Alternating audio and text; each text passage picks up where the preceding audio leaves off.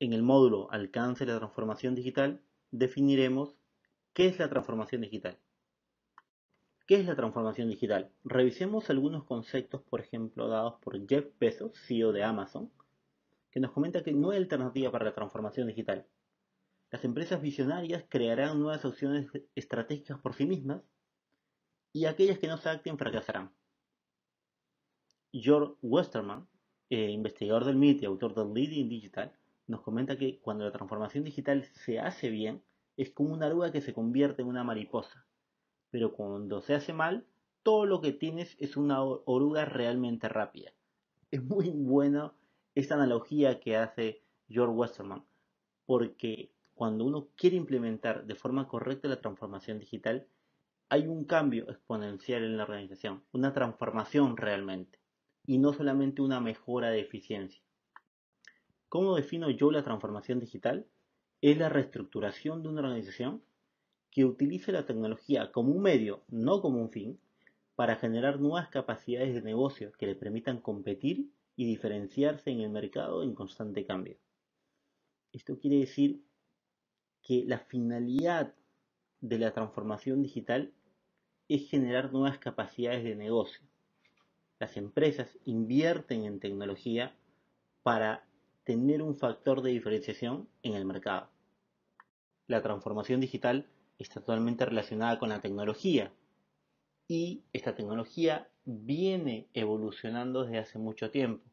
Podemos remontarnos hasta la época de la primera computadora electrónica, pasando por la creación de ARPANET, que fue la base con la cual se creó el Internet, la fundación de Apple en los 70, la creación de la propia Internet en 1990, la explosión de las empresas .com con Google, PayPal, Amazon en los años 90, BlackBerry en los 2000, con Facebook, con Twitter, con YouTube, pasando por el impacto que le damos con, a las empresas con cloud e inteligencia artificial, y la creación de Spotify, de WhatsApp, de IBM Watson, o el Google Assistant que tenemos hasta este momento, o la creación de Alexa por Amazon.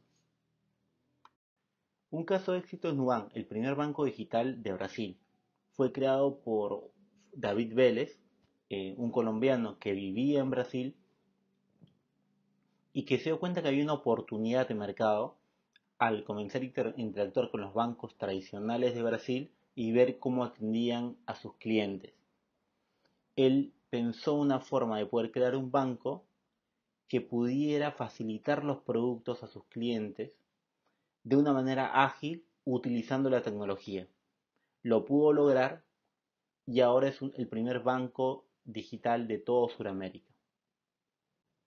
Tiene más de 5 millones de clientes, tiene más de 180 mil eh, millones en inversión y tiene apenas 850 empleados.